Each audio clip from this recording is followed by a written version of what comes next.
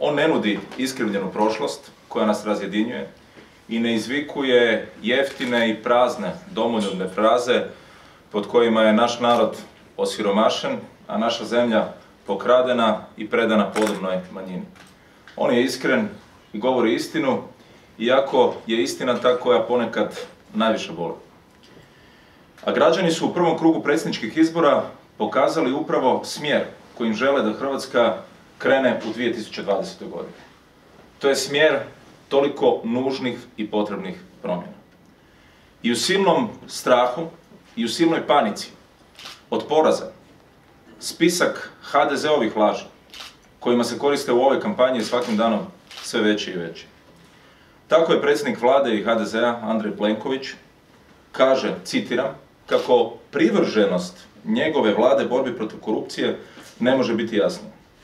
Optužuje Zorana Milanovića i mene da kontinuirano lažemo o povezanosti njegove vlasti i korupcije. Ali evo što je istina. Ne znam što bolje opisuje aktualno Plenkovićevu vladu. Činjenica da je pola njegove vlade moralo otići zbog sumnje u koruptivne radnje. Marić, Tolušić, Kuščević, Dalić, Žalac ili činjenica da se ta ista vlada još uvijek održava na vlasti zahvaljujući političkoj korupciji, odnosno kupovanju zastupnika u Hrvatskom saboru. Stoga Hrvatski sabor nije više volja građana.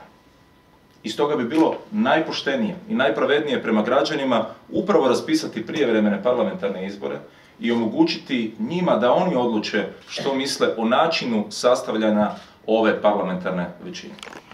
Stoga pozivam građane da 5. siječnja izađu na izbore kako drugi umjesto njih ne bi odlučivali, kako im drugi ne bi krojili sudbinu, ali i kako bi spriječili mogućnost manipulacije i krađe glasova.